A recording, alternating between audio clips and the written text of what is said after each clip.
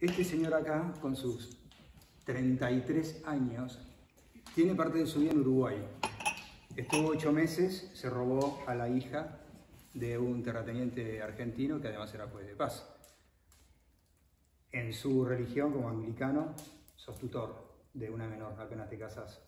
Pero el padre de la novia no se lo nunca lo persigue. Se va desde Montevideo, ingresa a Uruguay, desde la ciu- ciudad de Montevideo, al interior de Uruguay. La deja a su mujer Paquita, la argentina, con una tía que también había pasado, porque son cosas que pasaban, que si había problemas, todos a Uruguay, lo que no se podía contar. Y él se va a hacer ocho meses de aventura dentro de Uruguay y conoce un montón de paisanos. Eso no se podía contar en la época de Victoria, la reina. Cuando escribe, firma como, que el- firma como autor él, pero que es Richard Lamb, el, personaje. Pero a nadie se le ocurrió, y porque soy ornitólogo, es cruzar los datos que él en la primera página está diciendo, con casi tantos años estaba entrando a Uruguay y me quedé ocho meses. Y dije, ¿qué tal si esos casi tantos años significan que es el mismo Hudson que nació el 8 de agosto de 1841? Calculé que en 1866 estaba entrando Uruguay. Entonces crucé toda la información ornitológica de las cartas de Hudson, formales, no como autor y novelista, a los museos, donde man- ingresaba especímenes y pieles a los museos, y durante ocho meses, en 1866, no hay ninguna carta.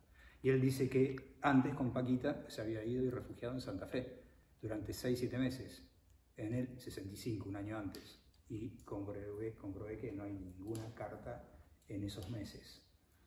Entonces, la conclusión con otra cantidad de datos eh, asociados es que por lo menos en las dos primeras hojas, Hudson entró a Uruguay,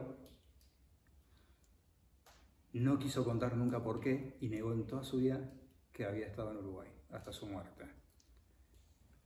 Un búho, es otro dato más, nunca se imaginó que lo iba a, denunciar como que estaba mintiendo. Entonces es un búho que él describe en la novela Tierra Purpúrea, que hace X canto, y después en Patagonia, en Días de Ocio de Patagonia, que vos me contaste, lo describe al búho con, con otro canto. Y el problema de Hudson fue que en ese momento el búho tenía el mismo nombre, tanto en Uruguay como en Patagonia. Ahora se saben que son especies diferentes. Entonces decís, ¿por qué no lo contó? ¿Cómo si lo escuchó no lo contó? Porque él nunca habla de Uruguay y dijo que nunca había estado en Uruguay. Un japonés después, embajador en la Argentina, años después, comprobó que había estado en Uruguay en el campo de los Kim, de George Kim. Entonces, por Pedernales, la zona de Saladillo, con todos esos datos y con una tabla que hice, pude comprobar que Richard Lamb es William Henry Hudson. Wow. Y es revolucionario para la historia. Que Hudson era un pillo, sí. Y dijo mi madre, eh, ¿por qué no dejas a los muertos? Que- que digo, porque me da curiosidad saber hasta dónde fue Hudson, hasta dónde mintió Hudson y por qué nunca escribió un solo libro sobre las aves de Uruguay, habiendo estado viviendo y viajado dos veces a Uruguay. ¿Por qué? Porque estaba ocultando que además en la descripción tiene vívido un relato de cómo le saca un revólver de una persona que lo estaba por achurar con un facón en un duelo en una pulpería, él lo mata. Entonces, ¿Lo mata? sí. Entonces el libro tiene sal y pimienta. Que se conozca a Hudson, que no nos tiene que dar vergüenza. Es totalmente humano. Obviamente para la época era un horror. Claro. Murió en 1922 y todo esto que vivió fue en el 66, 1865, 66. Bueno. No puedes, y él se casa en Inglaterra. Hay un montón de texto encriptado para una novela simple como es Tierra Purpúrea. Y vos decís, ¿para qué se tomó el trabajo de hacer tanto detalle? Al menos que entiendas que le está, está describiendo una novela ante una recién casado con una inglesa, eh, que esa señora no podía saber todo lo que le estaba, como verdadero todo lo que está poniendo. Es muy vivo, la novela la, eh, cronológicamente la ponen en la época de, los, de la guerra de los blancos y colorados, 15 años antes de en Uruguay. Entonces, como quedó anacrónico, se supone que nadie le iba a decir, fuiste vos, pero no lo logró. Los amigos le preguntaban siempre, "Sos- hay cartas.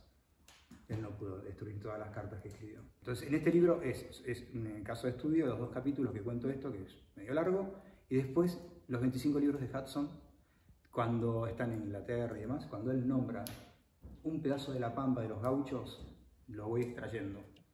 Y quedó en un solo libro, sus 24 libros, cuando fuera de su autobiografía oficial, que es allá lejos y hace tiempo. La segunda parte de la autobiografía de William Henry Hanson en El Plata no, no es peyorativo en su discurso. Él dice, lo que pasa es que ellos no entienden que al poner cóncavo un vidrio puedes magnificar una imagen. Ellos están acostumbrados, a los pocos vidrios que estaban acostumbrados a ver en algún rancho, en alguna casa, que vos miras un, un vidrio plano de estos y ves peor en realidad, porque eran cristales que era como que había un afán de, sentirse más importante, hasta que el gaucho en un momento le dice, bueno, pero a ver, le dice al inglés, ¿por qué usted no me demuestra lo que está diciendo? Entonces el gaucho le cuenta, gaucho es lindo, se, lo, se pone los anteojos y de casualidad era la graduación que necesitaba el país del gaucho.